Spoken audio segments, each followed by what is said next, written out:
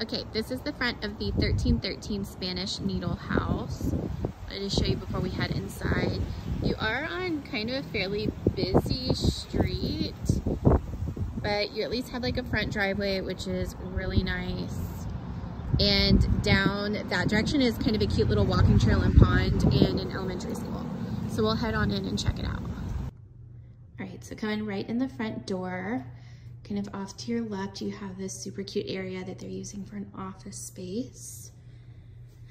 And it looks like real hardwood floors actually, so I'll have to confirm that. But then you have a cute little foyer area open to upstairs.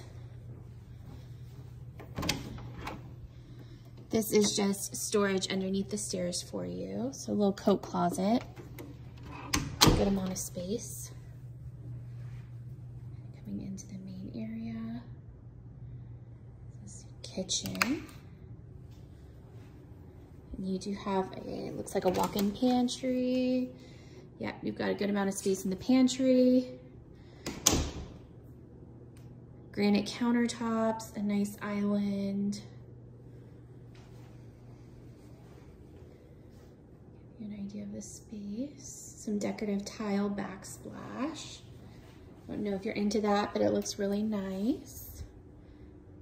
And it does open up to the living area here.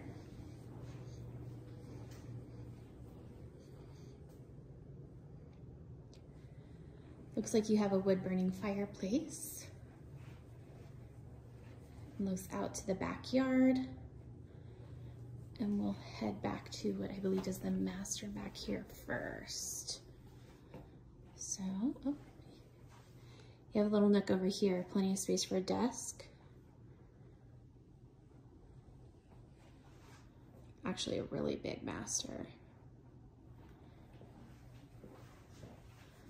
And your master bath, you have a walk-in shower, soaking tub. Yeah, sorry, you get to see me.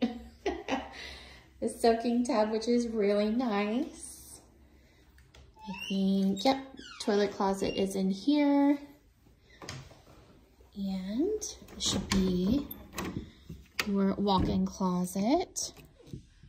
So you do have um, racks all the way up and a shelf at the top. So a good amount of space in here. And let's go check out the other, I think there's another bedroom that's downstairs and then we'll head upstairs really quick. Nice high ceilings in this house too. Kind of a neutral, soft gray paint color.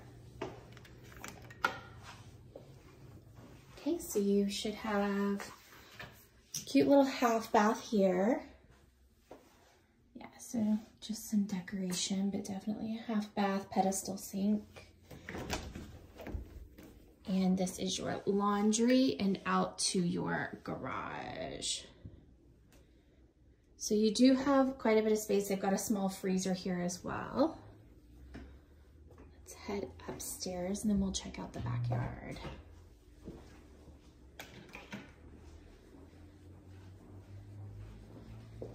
Stairs are nice, no carpet, it's that wood. So at least you don't have to worry about vacuuming stairs, which is kind of kind of great. You do have this little landing area here. It looks over to the front door. And off to the right, before we check out those bedrooms, you do have kind of a loft space up here that's open to below.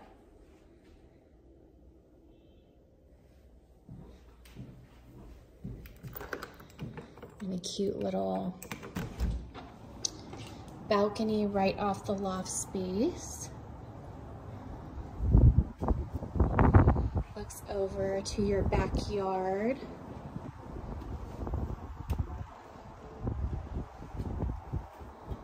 It's super cute if you want like a little uh, patio set out here. It's adorable.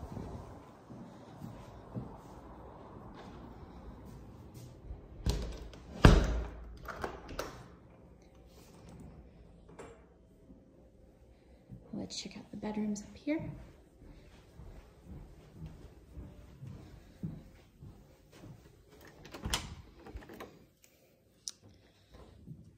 First one off the hallway.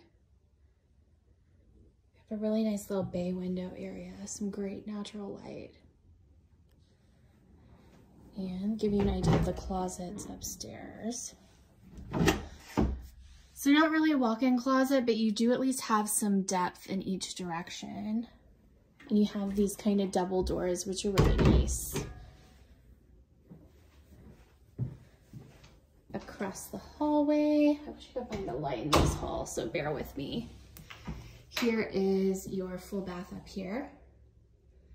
So a single sink, but you at least have a good amount of counter space and a shower tub combo. Just kind of a basic tan tile.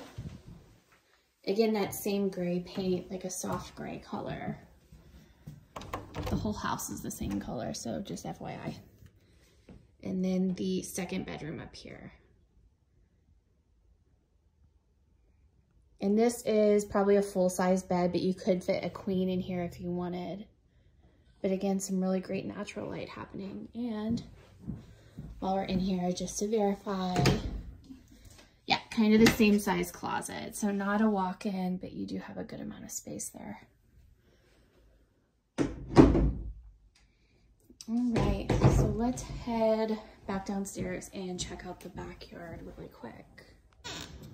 All right, so you do have a dog door. I know you've got dogs, so that's kind of nice. Oh, it's super windy today, so bear with me. It might be a little noisy.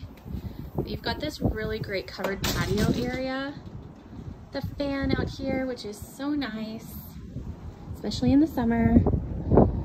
And you've got a ton of space for your dogs to run back here. Fence too. Looks like they've worked some drainage to go under the fence. That's what the, that is for, to kind of keep your foundation healthy as it rains. And it looks like they might have removed a tree. I'm not sure what that is, so I'll ask about that. Um, it looks like they either removed a tree or filled in something, but I will get answers for you. Even back behind the house, you have all the space. So I'm gonna back up so you can see it from another angle.